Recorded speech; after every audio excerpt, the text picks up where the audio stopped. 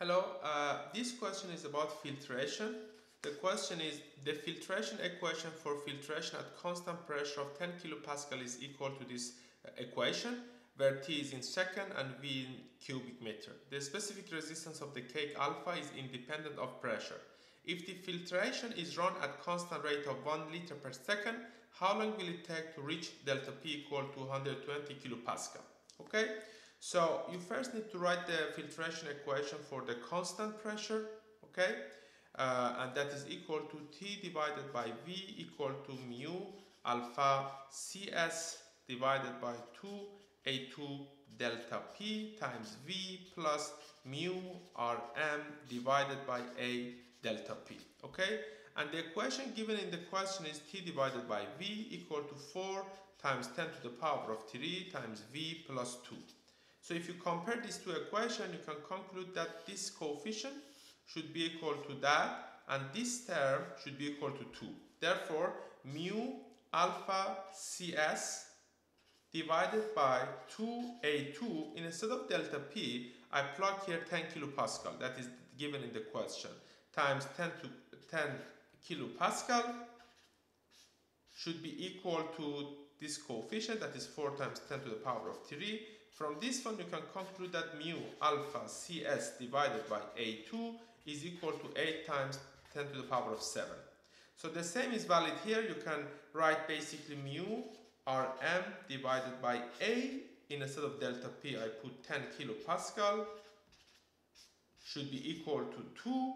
Therefore mu uh, therefore mu rm divided by a should be equal to 2 times uh, 10 to the power of 4 okay? 2 times 10 to the power of 4 okay? So you, now you have these two uh, expression.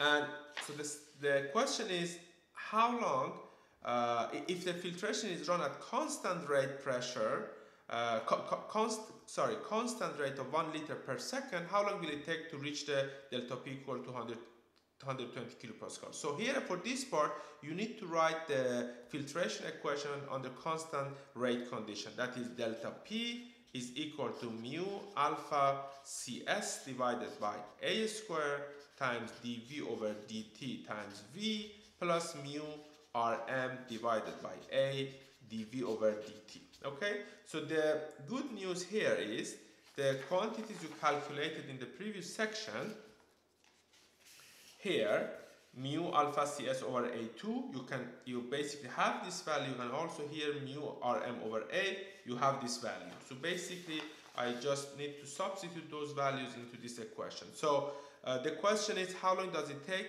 to have to reach the delta p equal to 120 kilopascal? So here i can write 120 kilopascal equal to instead of this term I put the value calculated in the previous section, that is 8 times 10 to the power of 7.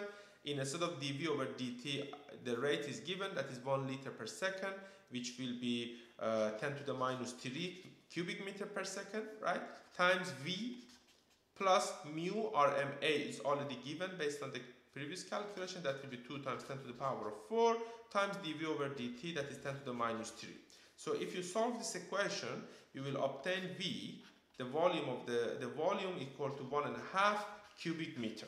Okay, so we know the rate, the rate of filtration is 10 to the minus 3. Okay, so the rate is 10 to the minus 3, therefore the time required to collect this much will be equal to one and a half divided by 10 to the minus 3, which will be equal to 1500 seconds.